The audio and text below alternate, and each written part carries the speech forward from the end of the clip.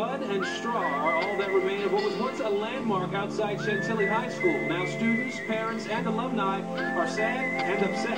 I'm Aaron Gilchrist with their story coming up on News 4.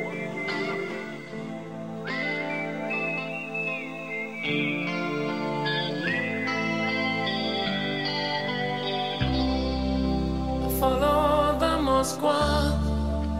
down to Gorky Park, listening change. An August summer night, soldiers passing by, listening to the wind of change.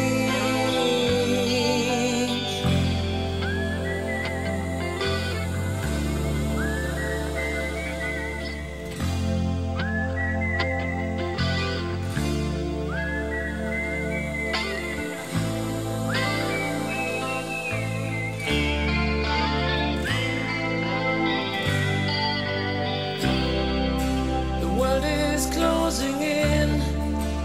Did you ever think that we could be so close, like brothers?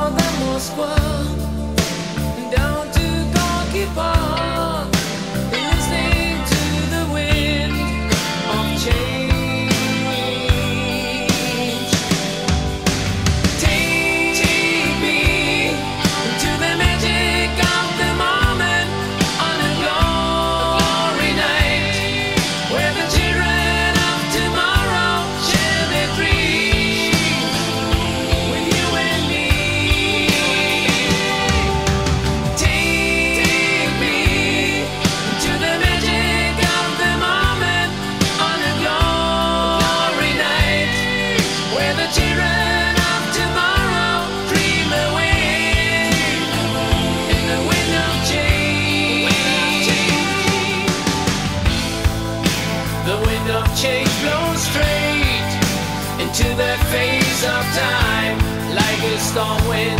Then we ring the freedom bell